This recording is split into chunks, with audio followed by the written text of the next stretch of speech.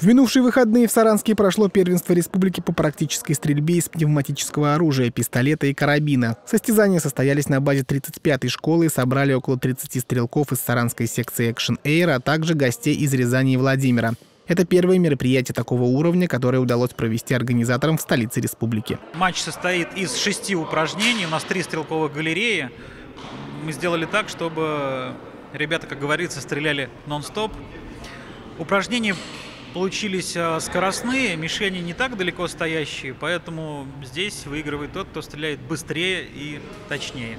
Участникам регионального первенства предстояло пройти шесть упражнений. По задумке дизайнера они получились преимущественно скоростными. По каждой картонной мишени нужно было произвести минимум два выстрела. Очки начислялись в зависимости от зон попадания «Альфа-5», «Чарли-3» и «Дельта-1». Контуры их разделения обозначены таким образом, чтобы стрелок с расстояния не видел их четких границ. Но здесь все видно хорошо, если вблизи. Чтобы видел, допустим, что попал, два попадания, но ему не было видно конкретно куда, только вблизи видно. Надо Куда? каждую мишень дважды попасть. Да, картонные А мишени больше поражают. Считается только два лучших. То есть можно попасть пять раз куда-то в сторону и две в альфа. Будет считаться две альфа, самые лучшие. Основная масса участников минувшего первенства по практической стрельбе – это школьники. Вопреки расхожему мнению, дети очень охотно идут в секцию по этому виду спорта. Причем девочек немногим меньше, чем мальчиков. Самиру Абузярову около двух лет назад в стрелковый тир привел папа. Теперь она постоянный участник подобных соревнований. На нынешнем старте она была единственной девочкой, которая смогла завоевать медаль.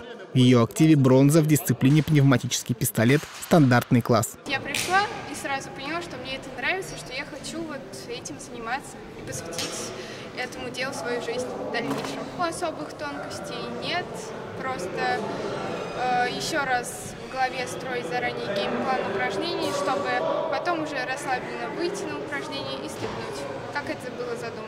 Из шести комплектов наград соревнований четыре золотые медали завоевали представители других регионов. Это вполне объяснимо, поскольку и в Рязани, и во Владимире секции по практической стрельбе были открыты раньше. Евгений Крымов на минувшем старте завоевал золото в категории пневматический карабин среди юношей и девушек до 15 лет. Самое трудное было междуречие, так называется упражнение.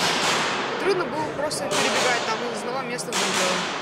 А так соревнования очень прикольные и интересные. Все набранные очки по ходу упражнения суммируются и делятся на время прохождения. Если мишень не поражена дважды, начисляются 20 штрафных очков. Таким образом и определяются лучшие.